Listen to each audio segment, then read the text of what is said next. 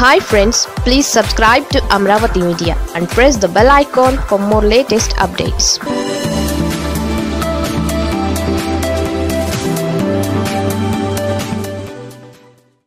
Chandrababu కోసం Andhrajyothy RK ప్రవచనాలు పాట్లు.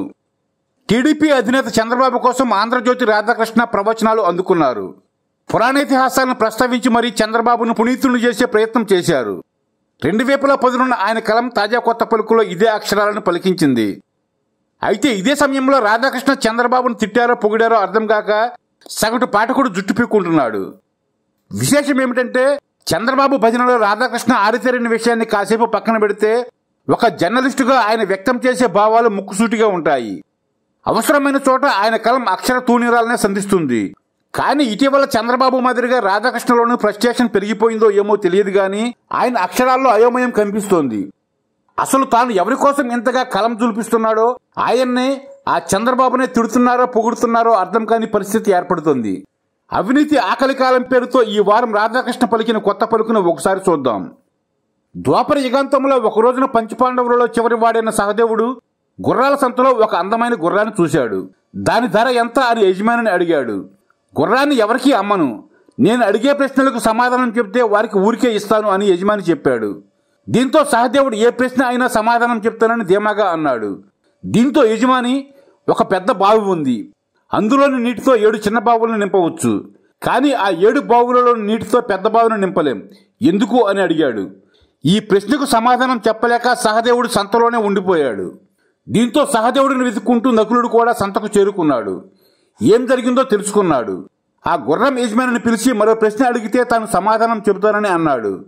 దీంతో యజమాని తన రెండో ప్రశ్న సంధించాడు. అది ఏమిటంటే మనం బట్టలు కుట్టడానికి ఉపయోగించే సూదిరంధ్రంలోకి పెద్ద ఏనుగు దూరగలిగింది. కానీ ఏనుగు తోక మాత్రం సూదిరంధ్రం దాటి వెళ్ళలేకపోయింది. అలా ఎందుకు జరిగింది అని ప్రశ్నించాడు.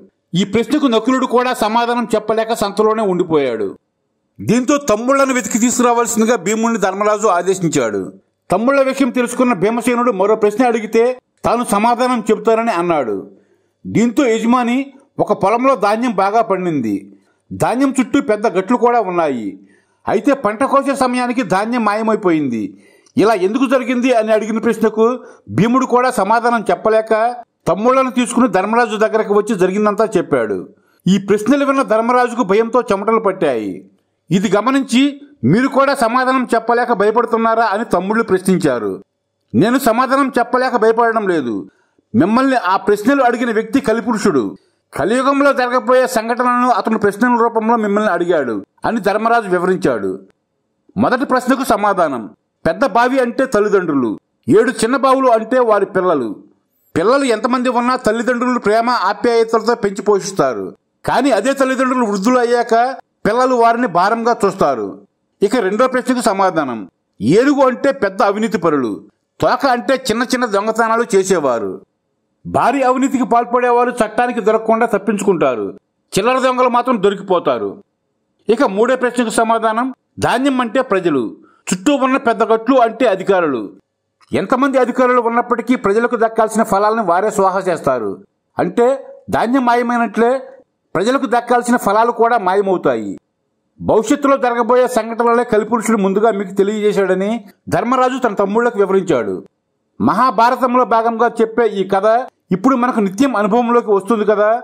ఇది ఆంధ్రజ్యోతి రాధాకృష్ణ తన తాజా కొత్త పలుకులో రాసింది. నిజానికి తన మామను వెన్నుపోడి పొడిచి అధికారాన్ని కబ్జా చేసిన చంద్రబాబుకు ఇది వర్తిస్తుంది. కాకపోతే రాధాకృష్ణ దీనిని జగన్కు వర్తింపజేశాడు. అంతే తేడా.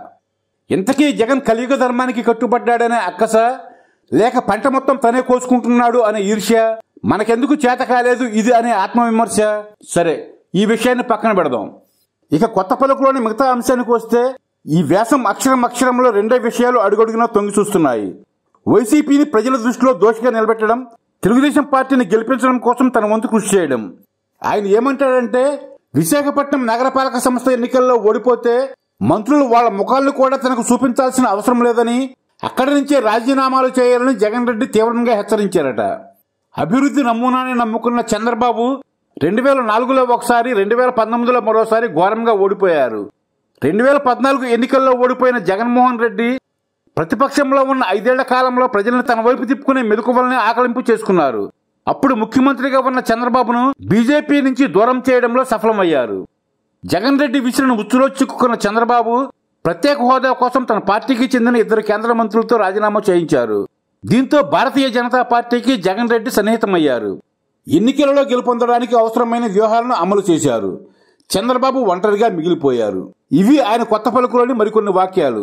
చంద్రబాబు ఓటమి మీద ఎంత బాధ ఎంత ఆవేదన ఈ వ్యాసంలో దాగి ఉందో ఈ లైన్లు ఒక్కసారి చదివితే అర్థమవుతుంది.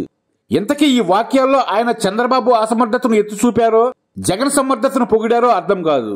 చంద్రబాబు కేవలం అభివృద్ధి మంత్రాన్ని నమ్ముకున్నారట. చంద్రబాబు మాత్రం డబ్బును పప్పు బెల్లాల్లా పంచిపెట్టలేదా? డెబ్బై రూపాయల భోజనాన్ని ఐదు రూపాయలకి జనాలకు ఇచ్చేసి కాంట్రాక్టర్లకు మేలు చేయలేదా? ప్రతి పండగకు ఫ్రీ ఫ్రీ అంటూ సరుకులు ఇచ్చేయలేదా? పసుపు కుంకుమ అంటూ నేరుగా పదివేలు వేసే కార్యక్రమానికి తెరదీసింది చంద్రబాబు కాదా? ఈ ప్రశ్నను మనం ఆర్కే గారిని అడగకూడదు. సరే ఈ విషయాన్ని పక్కన పెడదాం. ఆయన చెప్పిన ప్రకారం బీజేపీ అండ లేకపోవడంతోనే చంద్రబాబు ఓడిపోయారన్నమాట. అంటే రెండు వేల పద్నాలుగు ఎన్నికల్లో చంద్రబాబు గెలిచింది బీజేపీ అండతోనేనన్నమాట అంటే ఎవరి ఎండ లేకుండా చంద్రబాబు గెలవలేరని అన్యాపదేశంగా ఈ వ్యాసంలో స్పష్టం చేస్తున్నారన్నమాట చంద్రబాబు ఒంటరిగా మిగిలిపోయారు. ఫలితం ఏమిటో మనం చూసాం అని వ్యాసంలో క్లియర్గా రాశారు. ఇప్పటి వరకు ఏ ఎన్నికల్లోనూ పొత్తులు లేని ఒంటరి పోరు చంద్రబాబు సాగించలేదు. ఆయనది కేవలం సొంత బలం కాదు మంది బలం అని జనాలు అంటుంటారు. ఇప్పుడు ఈ వ్యాసం కూడా అదే స్పష్టం చేస్తోంది. బహుశా అందుకే కావచ్చు. బహుశా అందుకే కావచ్చు. చంద్రబాబు బీజేపీ అండ కోసమే పెరుగుతున్న పెట్రోల్ ధరలు గ్యాస్ ధరల గురించి ఒక్క మాట కూడా మాట్లాడడం లేదని అనుకోవాలా? దక్షిణాది రాష్ట్రాల్లో ప్రభుత్వాలకు ఇబ్బడిముబ్బడిగా ఆదాయం వస్తుంటుంది. దీంతో పాలకులు అవినీతికి పాల్పడడమే కాకుండా ప్రజల దృష్టి మరల్చడానికి విపరీతంగా సంక్షేమ పథకాలను అమలు చేయడం మొదలుపెట్టారు. ఈ మోడల్లో ఇప్పుడు దక్షిణాదిలోనే టాప్ ముఖ్యమంత్రిగా జగన్ రెడ్డి ఉన్నారని చెప్పవచ్చు. అలవికాని సంక్షేమం కారణంగా రాష్ట్రం అప్పుల పాలు అవుతున్నప్పటికీ పథకాల లబ్ధిదారులకు అవేమీ పట్టడం లేదు. ఒకవైపు ప్రభుత్వ సంపదను కొల్లగొడుతూ మరోవైపు అప్పులు చేసి ప్రజలకు పంచిపెట్టడాన్ని మజ్జిగ మీకు మేగడ మాకు అంటారు అని రాశారు. ఈ ఒక్క పేరాలోనే ఎన్ని డబుల్ స్టేట్మెంట్లు? ఆదాయం ఇబ్బడి ముబ్బడిగా పెరిగిందంట. కానీ రాష్ట్రం అప్పుల పాలు అవుతోందట. రాష్ట్రం అప్పుల పాలు అవుతోంది అప్పులు చేస్తున్నారు కానీ రాష్ట్ర సంపద కొల్లగొడుతున్నారు. ఇది ఎలా సాధ్యం? ఏదో ఒకటే కదా నిజమయ్యేది. ఇలాంటిదో మరో డబుల్ స్టేట్మెంట్ చూద్దాం. నిజానికి క్షేత్రస్థాయిలో పరిస్థితులు అధికార పార్టీకి అంతగా అనుకూలంగా ఏమీ లేవు. అధికారంతో పాటు డబ్బు కూడా పుష్కలంగా ఉన్నందున ఎన్నికల ఫలితాలు అధికార పార్టీకి అనుకూలంగానే ఉంటాయి. అప్పులు చేసి పంచుతున్న సొమ్మును ఆయాచితంగా పొందుతున్న వారిలో అత్యధికులు మాత్రం జగన్కు ఇప్పటికీ అనుకూలంగానే ఉన్నారు. ఇవి ఆ వ్యాఖ్యలు. క్షేత్రస్థాయిలో పరిస్థితులు అధికార పార్టీకి అనుకూలంగా లేవంటూనే ప్రజల్లో అత్యధికులు జగన్కు అనుకూలంగా ఉన్నారని అంటారు. ఈ రెండు వాక్యాల్లోనే ఇంత గందరగోళం. ఇంతకీ ఎందుకు ఈ డబుల్ స్టేట్మెంట్లు? ఎందుకంటే జగన్ను జనం ముందు దోషిగా నిలబెట్టడం కోసం. అందుకే రాధాకృష్ణ ఈ పాటలు. చివరలో రాధాకృష్ణ తన నిస్సహాయతను ఇలా బయటపెట్టుకున్నారు అవినీతి పరులకు అందలం లభించడమే కలియుగ ధర్మమని చెప్పుకుందామా? ఇది ఆయన ముక్తాయింపు. అంటే జగన్ అవినీతి పరుడు అని ఒక బలమైన సర్టిఫికెట్ను రాధాకృష్ణ జారీ చేసేశారు. జగన్ తప్ప ఈ రాష్ట్రంలో మరెవరో అవినీతి పరుడు కాదు. చంద్రబాబు సచ్చేలుడు. పాపం ఆయన అమాయకంగా జగన్ ముచ్చులో పడిపోయారు. ఒంటరి అయిపోయారు. ఇప్పుడు ఎలాగైనా ఆయనను మళ్ళీ గద్దెనెక్కించాలి. కానీ జగన్ జనంలో బాగా పాతుకుపోయారు. ఇది రాధాకృష్ణ నిర్వేదం నిస్సహాయత. ఈ వారం కొత్త పలుకులో ప్రతి అక్షరంలోనూ అది కనిపించింది.